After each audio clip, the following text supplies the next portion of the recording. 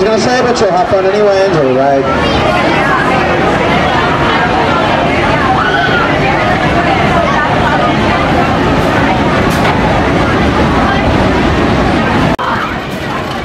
Welcome to the train house ride. Awesome. Grab all those items. Have a great rest of today.